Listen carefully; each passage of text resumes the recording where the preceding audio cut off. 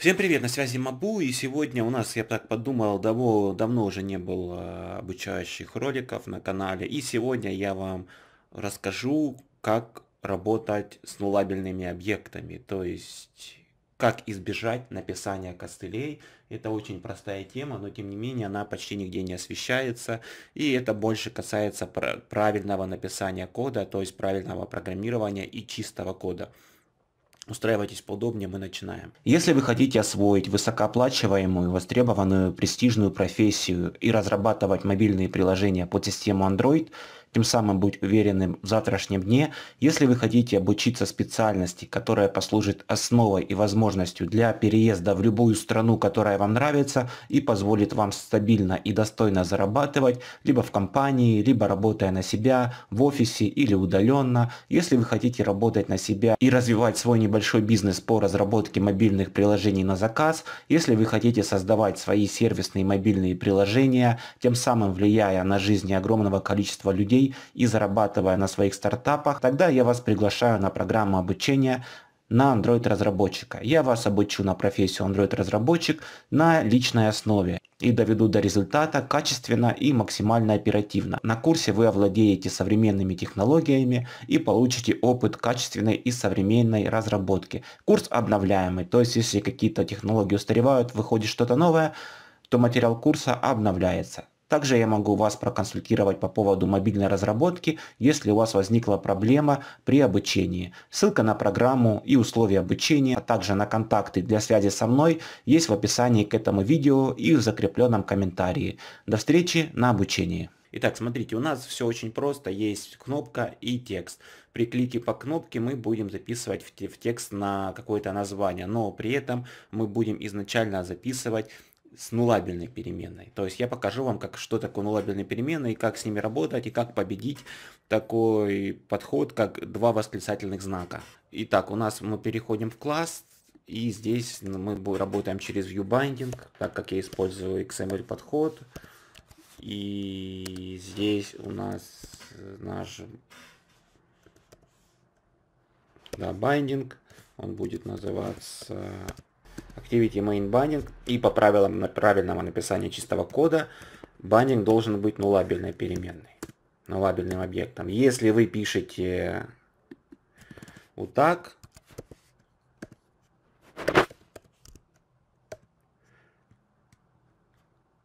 допустим, да, ну сейчас я здесь закомментирую, то я вам советую больше не смотреть пример, где вы так искали, потому что так писать нельзя.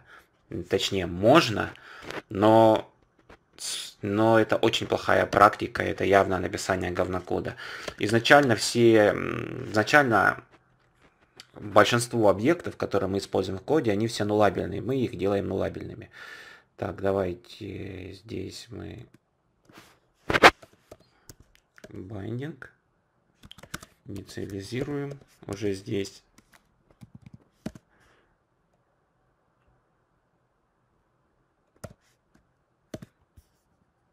И здесь уже наполняем версткой через байдинг.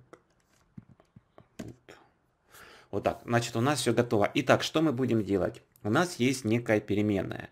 Давай, вернее, у нас есть виджет, да, вот э, текстового в поле. Давайте, во-первых, мы что будем делать? Мы при нажатии на кнопку, сначала обращаемся к кнопке, и вешаем на, на эту кнопку прослушиватель нажатия.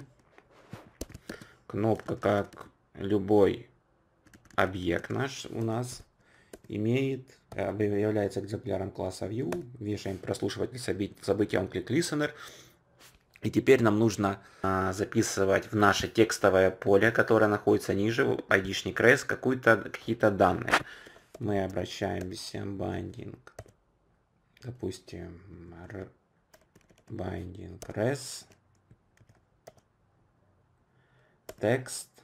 И что-то будем записывать. И давайте мы будем записывать с какого-то с какой-то переменной, неважно с какой, просто эта переменная. У нас должна будет, она у нас будет называться дата, она у нас будет типа string, и она изначально у нас будет нулабельной. У нас и с вами есть кнопка и текстовое поле. Мы хотим при нажатии по, на нашу кнопку в наше текстовое поле, текстовое поле записывать какие-то данные. Данные мы будем записывать из объекта дата, который по умолчанию у нас является нулабельным.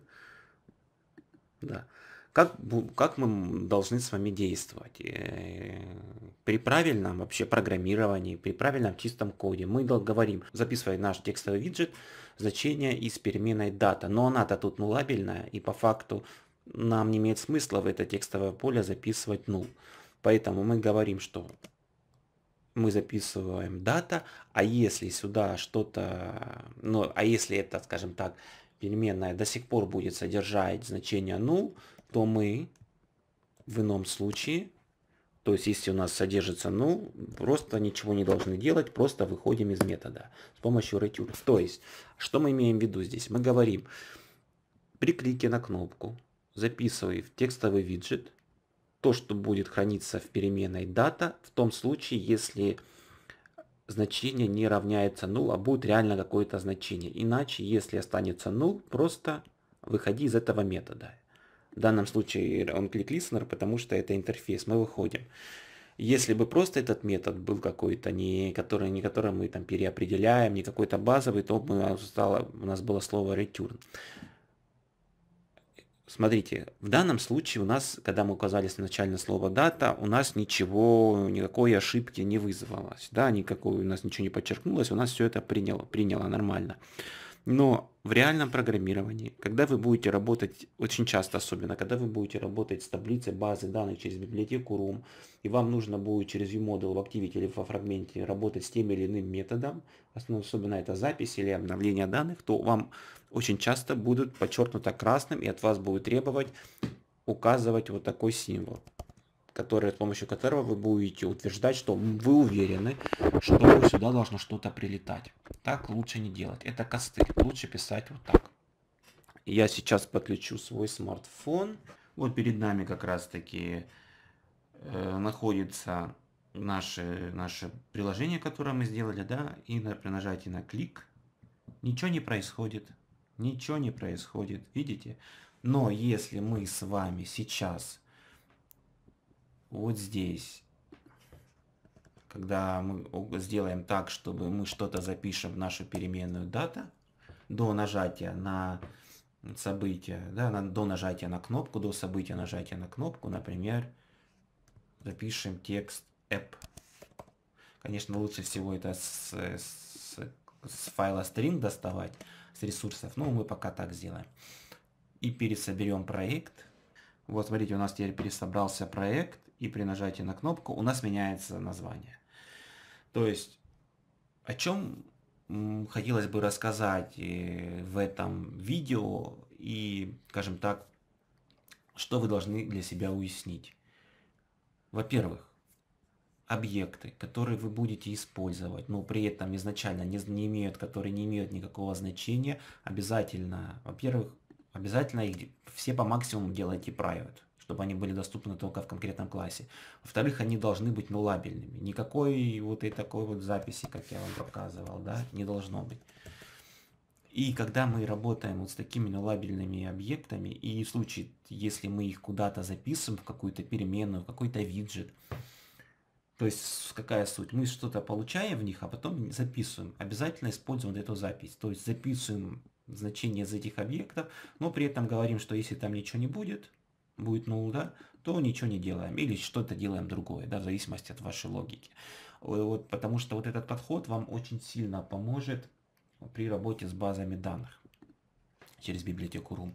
Вот такой записи мы должны избегать. Ну, это, в принципе, все, что я вам хотел рассказать в сегодняшнем видео. На этом у меня все. До встречи на следующей неделе. Всем пока.